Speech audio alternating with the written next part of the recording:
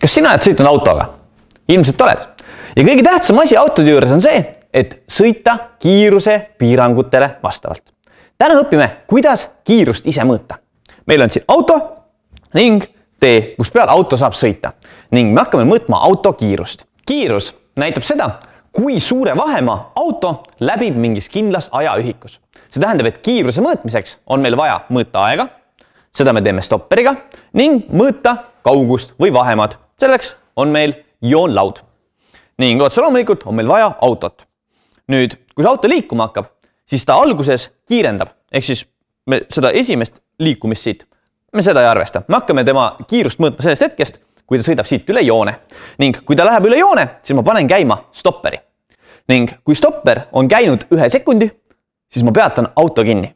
See on mugav seetõttu, et sedasi me saame täpselt teada, kui pika maa auto läbib ühe sekundiga. nii et me saame tema kiirust väljendada sentimeetrites sekundis, ehk siis me saame teada, mitu sentimeetrit ta ühe sekundiga läbib ja see ongi kiiruseühik. selles mõõtmises me kasutame äh, seda autot, mis sõidab tagurpidi, kuna edaspidi ta sõidab nii kiiresti, et ta lendaks laua pealt maha.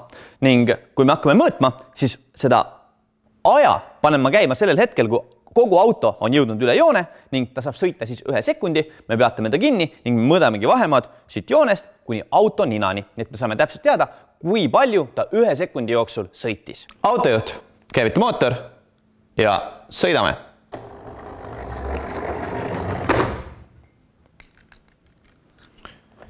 nii, auto sai sõita ühe sekundi, enne kui ma ta kinni peatasin. vaatame, kui kaugele ta selle sekundiga jõudis auto läbis selle ühe sekundiga kaheksakümmend seitse sentimeetrit. see tähendab, et selle auto kiirus oli kaheksakümmend seitse sentimeetrit sekundis.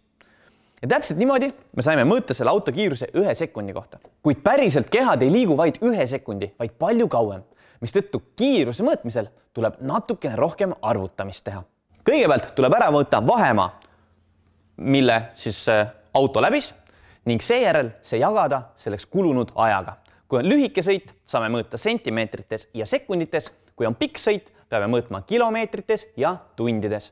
ja niimoodi saamegi vastava kiiruse kas sentimeetrid sekundis või kilomeetreid tunnis. nüüd, kui sa tead, kuidas mõõta kiirust, otsige välja stopper ja mõõdulint ning uurige välja, kes teie klassikaaslastest on kõige kiirem